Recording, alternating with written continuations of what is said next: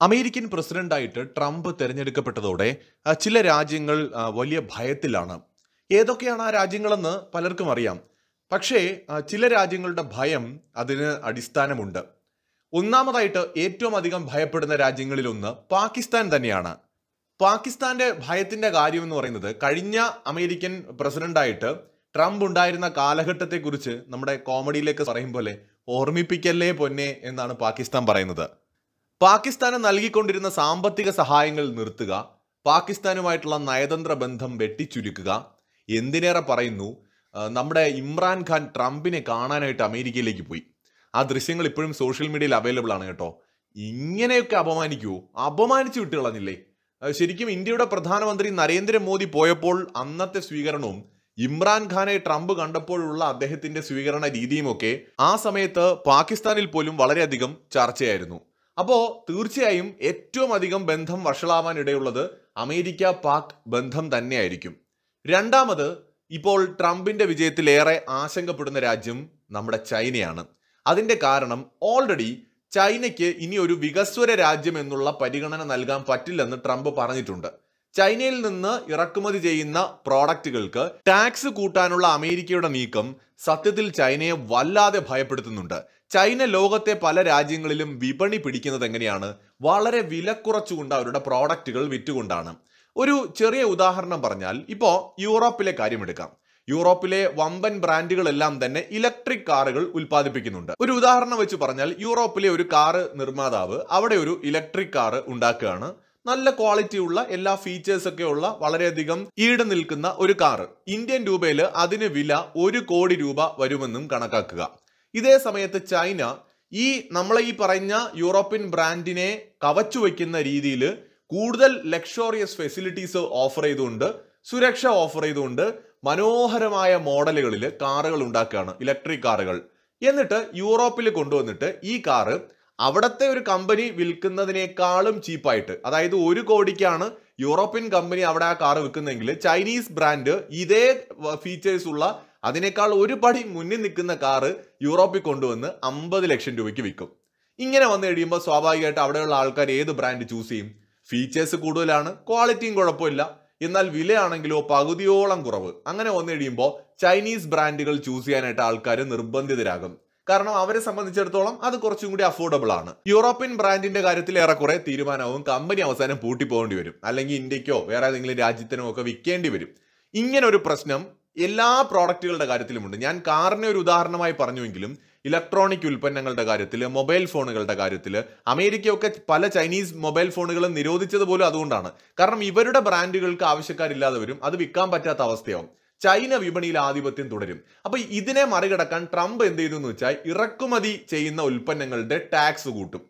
അപ്പൊ ടാക്സ് ഈ വികസ്വര രാജ്യം എന്ന് പറഞ്ഞുകൊണ്ട് കൊടുത്തിരുന്ന ഇളവുകൾ യൂറോപ്യൻ രാജ്യങ്ങൾ നിർത്തലാക്കാൻ തുടങ്ങി. അത് അമേരിക്കയും തുടങ്ങിയിരുന്നു നേരത്തെ. ട്രംപ് വന്നു കഴിയുമ്പോൾ ടാക്സ് വലിയ രീതിയിൽ വർദ്ധിപ്പിക്കും. അങ്ങനെ വരുമ്പോൾ ചൈന ഈ പ്രോഡക്റ്റ് അമേരിക്കയിലേക്ക് കൊണ്ടുവരുമ്പോൾ അമേരിക്കൻ ഗവൺമെന്റ് അതിൽ ടാക്സും കൂടെ ആഡ് ചെയ്യുന്ന സമയത്ത് സ്വാഭാവികമായിട്ട് അമ്പത് ലക്ഷത്തിന് വിൽക്കാൻ വരുന്ന സാധനത്തിന് ചിലപ്പോൾ എൺപത് ലക്ഷത്തിന് വിൽക്കേണ്ടതായിട്ട് വരും ചൈന. ടാക്സും കൂടി വരുമ്പോൾ ഇങ്ങനെ ഒരു പ്രശ്നം അവിടെ തീർച്ചയായിട്ടും വരുമെന്നുള്ളതാണ് ചൈനയുടെ മുമ്പിലുള്ള ഏറ്റവും വലിയ പ്രതിസന്ധി. ഇതിന് പുറമെ ട്രംപ് ചൈനയെ ഒരു ആഗോള പ്രോബ്ലമായിട്ടാണ് കാണുന്നത്. ഒരു പ്രശ്നമായിട്ടാണ് കാണുന്നത്. ചൈന കൂടുതൽ ശക്തിപ്പെടുന്നത് ലോകത്തിനാകെ ഭീഷണിയായിട്ട് ട്രംപ് കാണുന്നുണ്ട്. ചൈനീസ് വിപണി അമേരിക്കൻ കമ്പനികൾക്ക് ഏറെക്കുറെ കയറിക്കൂടാൻ പറ്റാത്തൊരിടമാണ്. പ്രത്യേകിച്ച് നമുക്കറിയാം ഫേസ്ബുക്ക് യൂട്യൂബ് ഇങ്ങനെയുള്ള അമേരിക്കൻ കമ്പനികളെയൊക്കെ പണ്ടേ തന്നെ പടിയടച്ച് പിണ്ടം വെച്ച ഒരു പരിപാടിയാണല്ലോ ചൈന ചെയ്തിരിക്കുന്നത്.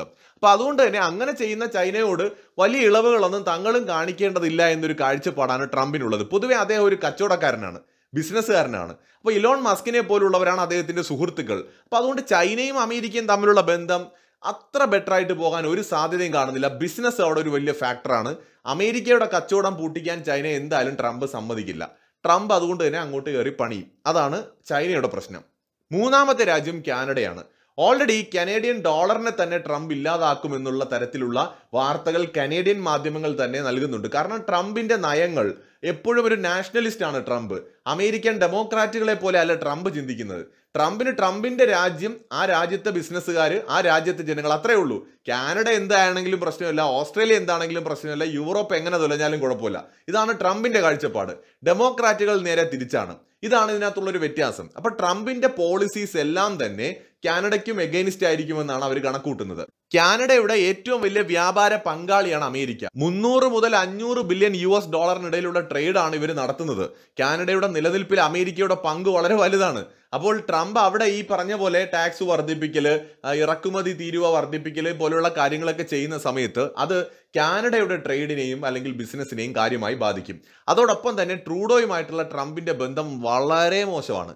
അതുകൊണ്ട് തന്നെ അത് വലിയ പ്രതീക്ഷയൊന്നും ഇല്ല ട്രംപിനെ സംബന്ധിച്ചിടത്തോളം കാനഡ എന്നും പുള്ളിക്കൊരു ഇരയേ അല്ല. പുള്ളി വലിയ ഗൗരവത്തിൽ കൊടുത്തിട്ടുമില്ല. നാറ്റോ ദുർബലപ്പെടാൻ സാധ്യതയുണ്ട്. കാരണം നാറ്റോയെ തീറ്റിപ്പോറ്റേണ്ട കാര്യമൊന്നും അമേരിക്കയ്ക്കില്ല. ആവശ്യമില്ലാതെ യുദ്ധങ്ങൾ ഉണ്ടാക്കി അമേരിക്കൻ ജനങ്ങളുടെ ടാക്സ് കൊണ്ടുവന്ന് വല്ലയിടത്തും കളയാൻ തനിക്ക് താല്പര്യമില്ല എന്ന് ട്രംപ് പലപ്പോഴും പറഞ്ഞിട്ടുണ്ട്. ഇപ്പൊ തന്നെ പത്തെഴുപത് ബില്യൺ യു എസ് ഡോളറാണ് ഈ ബൈഡൻ ഭരണകൂടം ഉക്രൈന് യുദ്ധം ചെയ്യാൻ വേണ്ടി കൊടുത്തത്. അമേരിക്കൻ ജനതയുടെ ടാക്സ് ഇങ്ങനെ കൊണ്ട് ഉക്രൈന്റെ യുദ്ധത്തിൽ കളയുന്നതിനോട് ട്രംപിന് നേരത്തെ തന്നെ എതിർപ്പാണ്. അപ്പൊ അതുകൊണ്ട് തന്നെ സ്വാഭാവികമായിട്ട് ഉക്രൈനും ഈ ഒരു ട്രംപിന്റെ ഭരണത്തിലേക്കുള്ള തിരിച്ചുവരവ് വളരെ ആശങ്കയുണ്ടാക്കുന്നുണ്ട്. സെലൻസ്കി ഇരുന്ന് മോങ്ങാനുള്ള എല്ലാ സാധ്യതയും കാണുന്നുണ്ട്. കാരണം യുദ്ധം നീണ്ടുപോവില്ല അമേരിക്കൻ ആയുധവും പണവും ഇല്ലാതെ എങ്ങനെ ചെയ്യാൻ പറ്റും? ഉക്രൈൻ യുദ്ധം എന്നേ തോറ്റുപോകേണ്ടതല്ലേ അമേരിക്ക വിശേഷിച്ച് ഡെമോക്രാറ്റുകളുടെ സപ്പോർട്ടോടെയാണ് യുദ്ധം നീണ്ടുപോയത്. അപ്പോൾ യുക്രൈന്റെ കാര്യത്തിലും തീരുമാനമായി ട്രംപിന്റെ വരവിൽ സെലൻസ്കി വലിയ നിരാശയിലായിരിക്കും. അതോടൊപ്പം തന്നെ എർദോഗൻ എർദോഗനും വളരെയധികം പ്രശ്നമാണ് ട്രംപ്. കാരണം തുർക്കി അമേരിക്ക ബന്ധത്തിൽ വലിയ അകൽച്ച ഉണ്ടായത് ട്രംപിന്റെ കാലത്താണ്. തുർക്കി എസ് ഫോർ ഹൺഡ്രഡ് വാങ്ങിയതിന് ട്രംപ് നിശിതമായിട്ട് എതിർക്കുകയും ഉപരോധമടക്കം ഏർപ്പെടുത്തുകയും ചെയ്തിരുന്നു. കാരണം തുർക്കി ഒരു നാറ്റോ മെമ്പറാണ്. അമേരിക്കൻ സഖ്യകക്ഷിയാണ് യൂറോപ്പിന്റെ സുഹൃത്താണ്. ഇങ്ങനെയൊക്കെ ആയിരുന്നിട്ട് അമേരിക്കയുടെ സഹായമൊക്കെ പറ്റിയിട്ട് റഷ്യൻ ആയുധം വാങ്ങിയതിനോട് ട്രംപിന് വലിയ എതിർപ്പുണ്ടായിരുന്നു. അന്ന് ഇന്ത്യക്കെതിരെയും ട്രംപ് ഉപരോധ ഭീഷണിയൊക്കെ മുഴക്കിയതാണ് ഇന്ത്യ ആയുധം വാങ്ങുകയാണെങ്കിൽ എസ് ഫോർ ഹൺഡ്രഡ് വാങ്ങുകയാണെങ്കിൽ. പക്ഷെ ഇന്ത്യയെ ട്രംപ് ഒരു മ്യൂച്വൽ റെസ്പെക്റ്റോട് കൂടിയാണ് കാണുന്നത്. ഒരു തുല്യതയോട് കൂടിയാണ് ഇന്ത്യയുമായിട്ട് ട്രംപ് ഡീൽ ചെയ്യുന്നത്. അതുകൊണ്ടാണ് ഇന്ത്യക്കെതിരെ വലിയ ആക്ഷൻ ഒന്നും എടുക്കാൻ നിന്നില്ല. ഇൻഡോ പസഫിക് റീജിയണിൽ ഇന്ത്യയുമായിട്ടുള്ള സൗഹൃദത്തിന് വലിയ പ്രാധാന്യമുണ്ടെന്നാണ് ട്രംപ് കാണുന്നത്. പിന്നെ മോദിയുമായിട്ടുള്ള പ്രത്യേകമായ അടുപ്പവും ഇതിലൊരു പ്രധാന ഘടകമാണ്. അതുകൊണ്ട് ഇന്ത്യ ഒഴിവായി തുർക്കിക്ക് പണി കിട്ടി. അപ്പോൾ വീണ്ടും ട്രംപ് അധികാരത്തിൽ വരുമ്പോൾ എർദോഗൻ അവിടെയുണ്ട്. അപ്പോൾ എർദോഗനും ഇത് വലിയ ആശങ്കയുണ്ടാക്കുമെന്ന് ഉറപ്പാണ്. അടുത്ത രാജ്യമെന്ന് പറയുന്നത് ഇറാനാണ്. ഇറാനെ ആക്രമിക്കാനുള്ള ഉത്തരവിൽ ഒപ്പിടുന്നതിന് തൊട്ടു മുമ്പാണ് ട്രംപ് അത് വേണ്ടെന്ന് വെച്ചത്. അതായത് ആക്രമിക്കാൻ തയ്യാറായതാണ് ഒരിക്കൽ ട്രംപ്. അപ്പോൾ ഇറാനെ ട്രംപിന് കണ്ണെടുത്താൽ കണ്ടുകൂടാ? അപ്പോൾ ഇറാനുമായിട്ടുള്ള ബന്ധം കൂടുതൽ മോശമാകാൻ സാധ്യതയുമുണ്ട്. എന്നാൽ ഇസ്രായേലുമായിട്ടുള്ള പ്രശ്നം പരിഹരിക്കപ്പെടുകയാണെങ്കിൽ ചിലപ്പോൾ ഇറാനോട് ട്രംപ് ഒരു അനുഭാവപൂർവം ഇടപെടാനും സാധ്യതയുണ്ട്. പക്ഷെ തൽക്കാലം ഇറാനും ഒട്ടും ആശ്വാസമാകില്ല ട്രംപിന്റെ വരവ്. അതോടൊപ്പം തന്നെ ഖത്തർ. മിലിറ്റന്റ് ഗ്രൂപ്പുകളെ ഖത്തർ പണം കൊടുത്ത് സഹായിക്കുന്നത് ട്രംപിന് തീരെ ഇഷ്ടമില്ലാത്തൊരു കാര്യമാണ്. അതുകൊണ്ട് തന്നെ ഖത്തറിനോടും ഒരു പക്ഷേ ട്രംപ് കണ്ണുരുട്ടാൻ സാധ്യത കാണുന്നുണ്ട്. ഏറ്റവും ഒടുവിലായിട്ട് ബംഗ്ലാദേശ് വേറെയും പല രാജ്യങ്ങളുമുണ്ട്. പക്ഷെ നമുക്ക് ബംഗ്ലാദേശിനെ കൂടെ കുറിച്ച് പറഞ്ഞു നിർത്താം. ബംഗ്ലാദേശ് യൂനിസിന്റെ ധൈര്യം എന്ന് പറയുന്നത് ഡെമോക്രാറ്റുകളായിരുന്നു. ബൈഡനും ഒബാമയും കമലയും ഒക്കെ ആയിരുന്നു. ദയനീയമായിട്ട് ഡെമോക്രാറ്റുകൾ പരാജയപ്പെട്ട സാഹചര്യത്തിൽ ബംഗ്ലാദേശിലെ ഇടക്കാല സർക്കാരിന്റെ ഭാവി എന്താകും എന്നത് ഒരു വലിയ ചോദ്യമാണ് അമേരിക്കയുടെ പിന്തുണ കാര്യമായിട്ട് പ്രതീക്ഷിക്കാൻ കഴിയില്ല ഇനി ബംഗ്ലാദേശിന്. കൂട്ടത്തിൽ ഒന്ന് രണ്ട് കാര്യങ്ങൾ കൂടി പറഞ്ഞു പോകാം. അതായത് തീർച്ചയായിട്ടും ഇത് യൂനിസിനെ വളരെയധികം സങ്കടപ്പെടുത്തുന്ന വാർത്തയാണ്. ഒപ്പം മ്യാൻമാറിലെ വിഘടനവാദ ഗ്രൂപ്പുകൾക്കുള്ള അമേരിക്കയുടെ സപ്പോർട്ട് തുടരുമോ എന്ന കാര്യത്തിലും സംശയമുണ്ട്. കൂടാതെ ഇടത് ആശയങ്ങൾ മുന്നോട്ട് കൊണ്ടുപോകുന്ന അല്ലെങ്കിൽ ഇടത് ആശയങ്ങളിലൂടെ രാഷ്ട്രീയത്തിലേക്ക് എത്തിയ നമ്മുടെ ശ്രീലങ്കൻ പ്രസിഡന്റിനും ഇതൊരല്പം നീരസം ഉണ്ടാക്കുന്ന വാർത്ത തന്നെയാണ്. പൊതുവേ കമ്മ്യൂണിസ്റ്റുകാരോട് ട്രംപിന് വലിയ താല്പര്യമൊന്നും ഇല്ല. രണ്ടാമത് മാലി ദ്വീപിലെ നമ്മുടെ മുഹമ്മദ് മൊയ്സുവിനും ഇതല്പം നിരാശ ഉണ്ടാക്കുന്ന ഒരു വാർത്ത തന്നെയാണ്. അങ്ങനെ പല രാജ്യങ്ങൾക്കും രാഷ്ട്രത്തലവന്മാർക്കും ട്രംപിന്റെ വിജയം കടുത്ത നിരാശയാണ്. ചിലർ പൊട്ടിക്കരയുന്ന അത്രത്തോളം നിരാശരായിരിക്കും. കാരണം ട്രംപിന്റെ വരവ് ജിയോ പൊളിറ്റിക്സിൽ അത്രയും വലിയ ഇമ്പാക്റ്റ് ഉണ്ടാക്കും. എന്നാൽ ഇന്ത്യ റഷ്യ തുടങ്ങിയ രാജ്യങ്ങൾക്ക് ട്രംപിന്റെ വരവ് വളരെ ഗുണം ചെയ്യുമെന്നുള്ളതാണ് ഈ ഘട്ടത്തിലെ വിലയിരുത്തൽ. തീർച്ചയായിട്ടും കുടിയേറ്റവുമായിട്ട് ബന്ധപ്പെട്ടൊക്കെ ട്രംപ് കടുപ്പിക്കുമെന്ന കാര്യത്തിൽ തർക്കമൊന്നുമില്ല. അതിനൊന്നും തെറ്റു പറയാൻ പറ്റില്ല. അതിനാണല്ലോ ജനങ്ങൾ അയാളെ തിരഞ്ഞെടുത്തത്. കുടിയേറ്റം എന്ന് പറയുമ്പോൾ ഇന്ത്യയിൽ നിന്നുള്ള കുടിയേറ്റം മാത്രമല്ല ആഫ്രിക്കയിൽ നിന്നും ചൈനയിൽ നിന്നും ഒരുപാട് രാജ്യങ്ങളിൽ നിന്നുള്ള കുടിയേറ്റമുണ്ട്. അപ്പോൾ എല്ലാ കുടിയേറ്റങ്ങളോടും ഒരേ സമീപനമായിരിക്കില്ല ട്രംപിന്. ഇന്ത്യക്കാരോട് അദ്ദേഹത്തിന് വലിയ കാര്യമാണ്. കഴിവുള്ള ഇന്ത്യക്കാർക്ക് അമേരിക്കയിൽ പോകാൻ എന്തായാലും ട്രംപിന്റെ കാലത്ത് ഒരു ബുദ്ധിമുട്ടും ഉണ്ടാവത്തില്ല. വളഞ്ഞ വഴിയിലൂടെ പോകുന്നതൊക്കെ ചിലപ്പോൾ ട്രംപ് തടയുമായിരിക്കും. ബാക്കിയുള്ള അനധികൃതമായ കുടിയേറ്റങ്ങൾക്കെതിരെ ശക്തമായ നടപടി ട്രംപ് സ്വീകരിക്കും. അതെന്തായാലും ഇന്ത്യയ്ക്ക് ഒരു തിരിച്ചടിയൊന്നുമല്ല.